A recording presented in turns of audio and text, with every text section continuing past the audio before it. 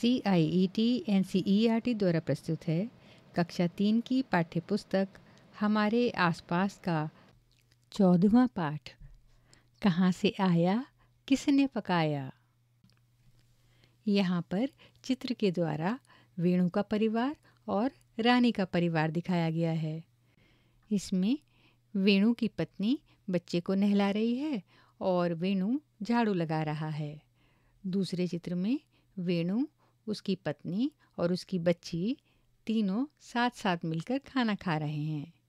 तीसरे चित्र में वेणु की बेटी साइकिल चला रही है और वेणु और उसकी पत्नी साथ साथ बैठकर अखबार पढ़ रहे हैं। अब देखते हैं रानी का परिवार। रानी की मम्मी खाना पका रही हैं। उसके बाद रानी खाना परस रही है और रानी के पापा और रानी का भाई दोनों खाना खा रहे हैं। तीसरे चित्र में रानी अपनी मम्मी के साथ पानी भर कर ला रही है और रानी के पापा अखबार पढ़ रहे हैं। अब बताओ, दोनों परिवारों में कौन किस तरह के काम कर रहा है? क्या तुम्हारा परिवार इन दोनों में से किसी एक परिवार जैसा है? यदि हाँ तो किसके जैसा? तुम्हारा परिवार उस परिवार से कैसे मिलता है? और यदि नहीं मिलता तो अपने परिवार के बारे में बताओ। क्या तुम्हारे घर में सब एक साथ खाना खाते हैं? यदि नहीं तो क्यों? सबसे आखिर में खाना कौन खाता है? खाना बनाने में कौन मदद नहीं करता और क्यों? अब एक तालिका बनाओ। यहाँ कुछ काम बताए गए हैं। तुम्हारे घर में और तुम्हारे एक दोस्त के घर में इन कामों को कौन कौन करता है? पता लगाओ और लिखो। कुछ काम तालिका में और जोड़ सकते हो। जैसे, काम, खाना बनाना। तुम्हारे घर में कौन करता है?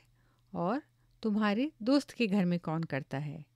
इसी तरह से काम है बाज़ार से सामान खरीदना, झाड़ू लगाना, बर्तन साफ़ करना, पानी भरना।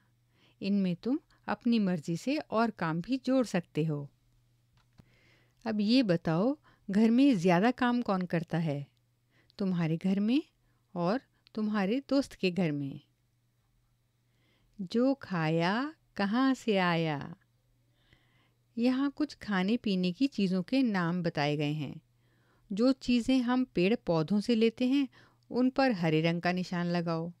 जो चीज़ें हमें जानवरों से मिलती हैं, उन पर लाल रंग का निशान लगाओ। रिक्त स्थान में कुछ नाम भी जोड़ो।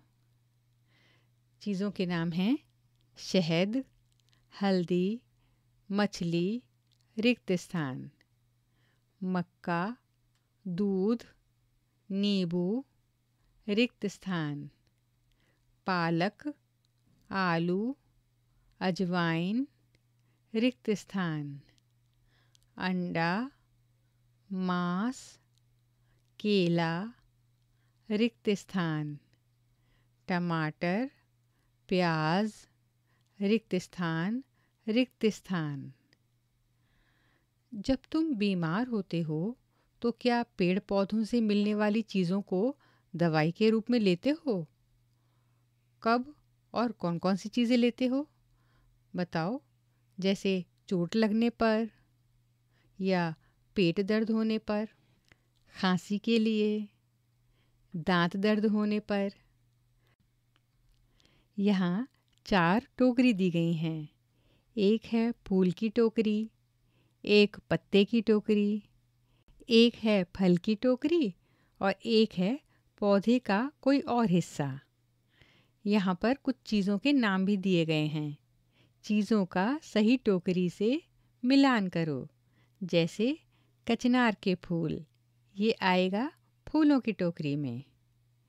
और चीज़ें हैं, अदरक, आम, आंवला, चने, कटहल, पालक, कमल ककड़ी, सैंजन की फली, कड़ी पत्ता।